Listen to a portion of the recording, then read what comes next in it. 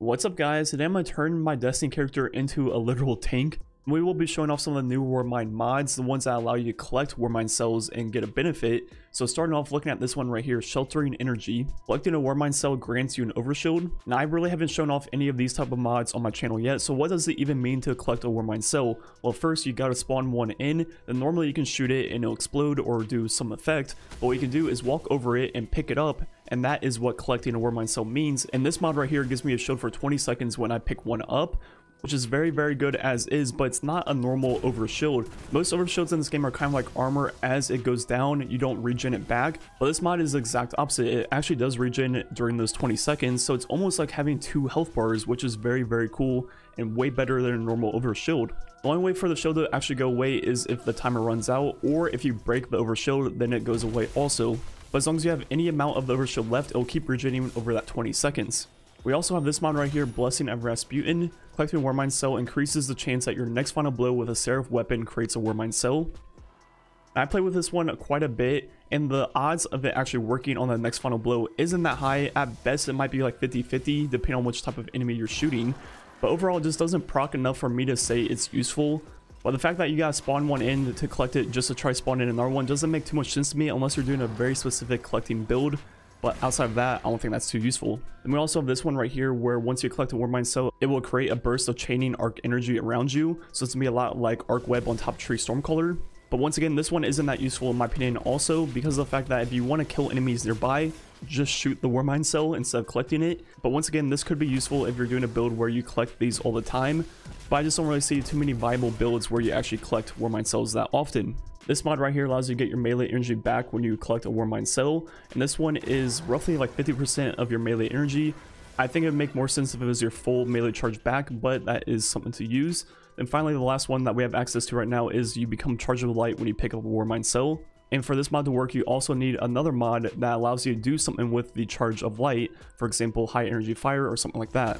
And once you have both of those mods on, you can then collect the Warmind cell and you become charged with light times one. So looking at all the collecting Warmind cells that we have available right now, the only one that is really good in my opinion and actually worth trading off not being able to shoot a Warmind cell is going to be Sheltering Energy because of that 20 second over shield which is very good and can regen, and that will keep you alive in a lot of situations that you might be dying in. Now onto the tankiest of tank builds I can make, we're going to start off with that mod we are just speaking of for that 20 second over shield. Then on top of that, every time we collect a Warmind cell, we're going to use this mod so we become charged with like times 1, and with that stack of Charge of Light, we're also going to use Protective Light, which was a mod from last season, which is once your shields are broken and you become red bar, you get significant damage resistance versus enemies, which is very good. So it pretty much only kicks in when you're red bar, which is when you're then needed the most because you're close to dying. So it's very, very good. Then the next mod will be Global Reach. That way the effects of our Warmind cells have a greater radius. And finally, the last mod we're going to be using is going to be Warmind's Protection, which is going to make enemies do a lot less damage if they're near Warmind cells.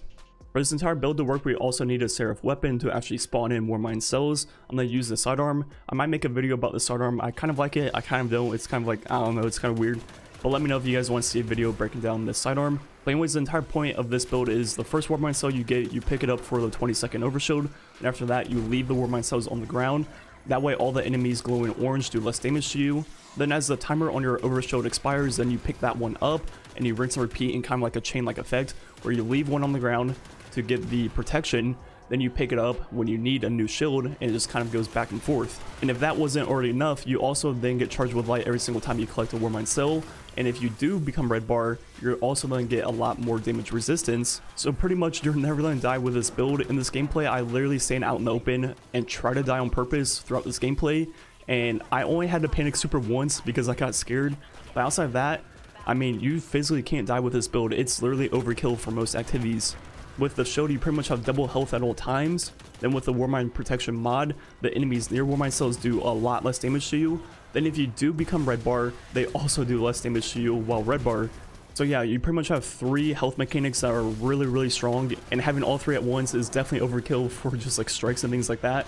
But for Master Nightfalls, Grandmaster Nightfalls, even raids, this could actually be a very good build for those type of things. Or just mixing in pieces of this build into your existing Warmind builds is also a very good idea. For example, just using the Sheltering Energy for the 20 second overshield and some of my other Warmind Cell builds would be very, very strong. But if you want to be the tankiest Guardian in the world, definitely use all five of these mods and you probably will never die.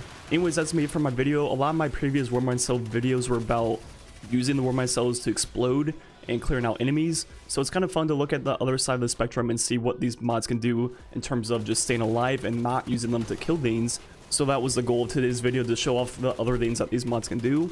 Anyways, let me know what you think about some of these mods. Which one are you going to be using? Are you going to be using Sheltering Energy? Or do you use Warmind's Protection? Anyways, thanks for watching. Catch you guys next time.